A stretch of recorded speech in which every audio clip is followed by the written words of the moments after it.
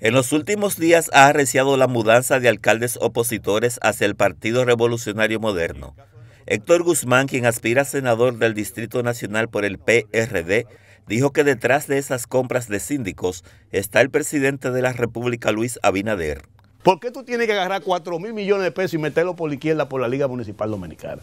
Mira lo que ha pasado en algunos ayuntamientos. Esto es bueno este tema que se entienda. Algunos ayuntamientos le han... Eso está condicionado a es para hacer y contener. Y a un ayuntamiento que le digan que le van a usar ese dinero, dice, pero que aquí yo no tengo problema de hacer y contener, mi problema es una cañada. Ah, pues no puede cambiar los recursos para eso, porque lo están condicionando y, ahí hay muchísimas cosas. Ahí hay mucho gato entre macutos, que eso va a salir en su momento.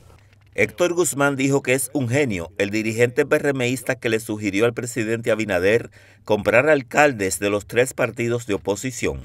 Porque a mí lo que me da pena es que si hoy existe, oigan bien, la palabra transfugismo en la ley electoral de la partido se debe a la iniciativa del PRM. Y esa doble moral la que yo no comparto.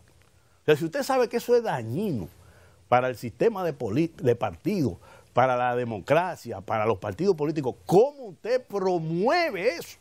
Héctor Guzmán recordó que durante los dos gobiernos de Danilo Medina nunca se compró un alcalde y que el mandatario entregaba recursos a las alcaldías. Nino Germán Pérez, EN Televisión.